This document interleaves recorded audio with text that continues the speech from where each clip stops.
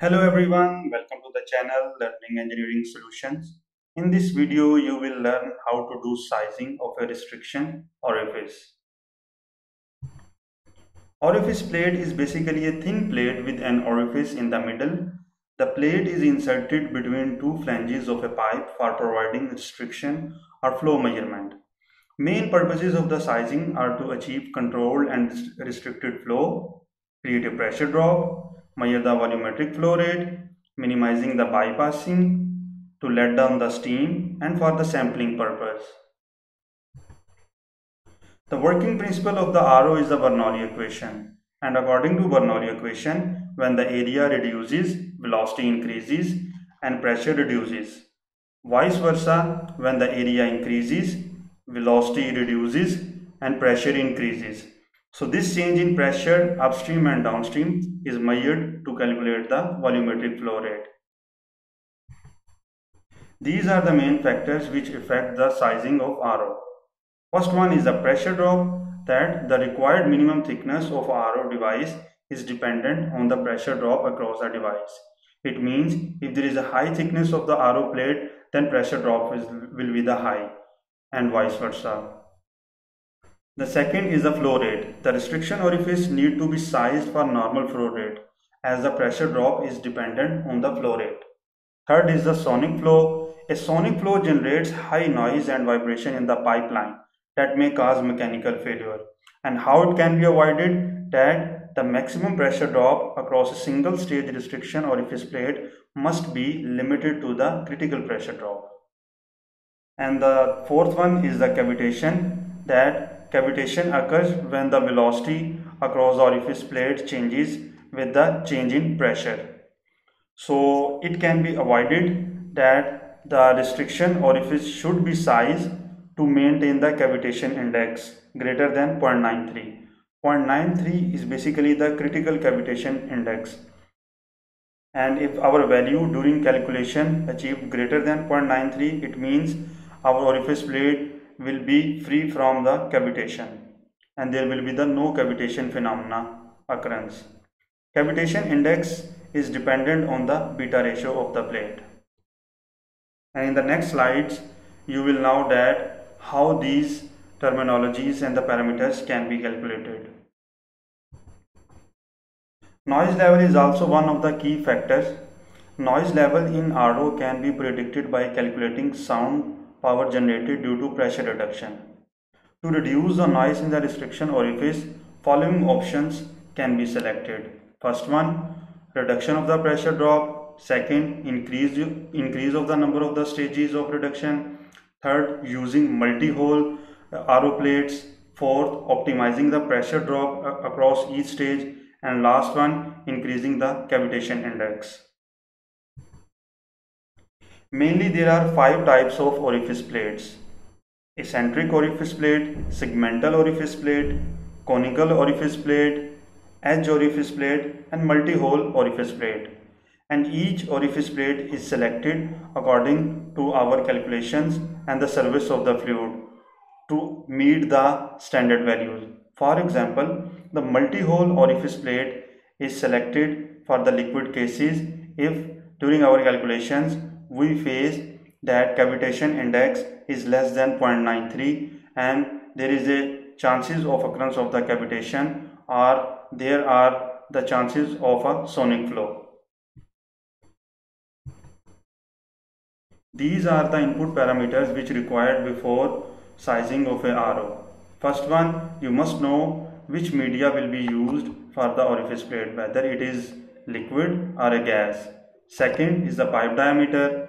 Third is the flow rate of fluid. Fourth is up and downstream pressure. And then temperature of the fluid. After that density of the fluid and last one vapor pressure.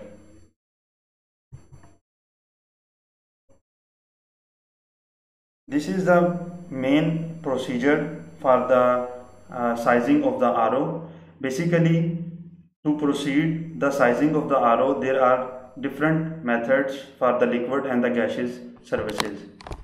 For the liquid services, the first step is to calculate the bore diameter of orifice. And second, estimate the beta ratio and the velocity of fluid. and then we calculate the cavitation index and to select and select the RO on the basis of our these calculations.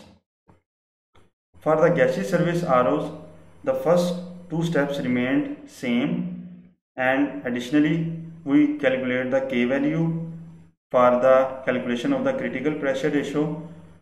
On the basis of the critical pressure ratio, we check whether it falls in the sonic region or subsonic region. If ratio falls in the sonic region, then we estimate the critical flow hole diameter. And for the gaseous phase, we don't need to check the cavitation index.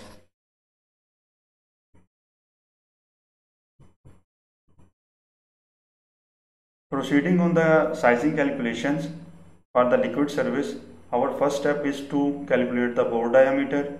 This is the formula to calculate the bore diameter.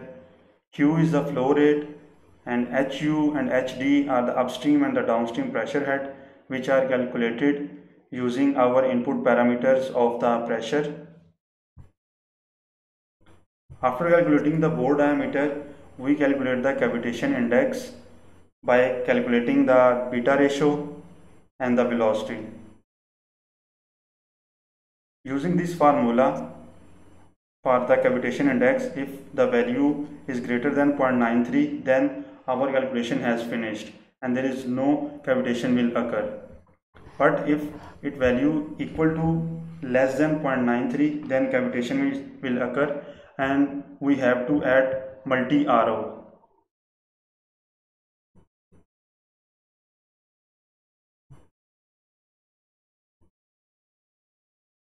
For the gaseous service, the step 1 will remain same, while step 2 is unnecessary that is cavitation index, but the critical pressure ratio is the key determination to identify the sonic or the subsonic region. Below is the formula to calculate the critical pressure ratio and the critical flow hole diameter. First we will calculate the critical pressure ratio by calculating the K value which is Cp over Cv. If the pressure ratio equal to less than critical pressure ratio then it will fall the sonic region.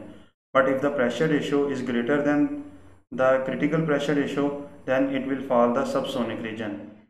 If our calculation show that the uh, the region is the sonic then we have to calculate the critical flow hole diameter as well using this formula.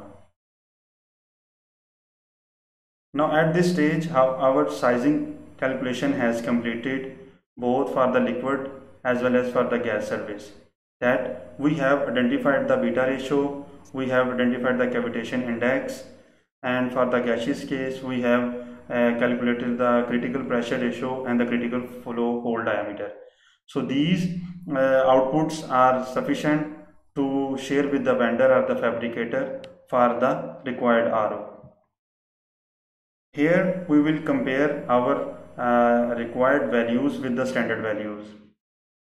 That first parameter is that minimum orifice dia must be 2 mm for the clean liquid service and 1 mm for the clean gas service. But if our RO uh, dia is smaller than the minimum orifice dia, then we have to add the replaceable strainer. Second is the critical cavitation index which is 0.93 and our cavitation index value must be greater than of this value. And third parameter is the straight length that should be 3 for liquid case and 10 for the gas case. If your R uh, calculated values comply with these standard values, then your orifice calculations have completed and they are okay to further proceed.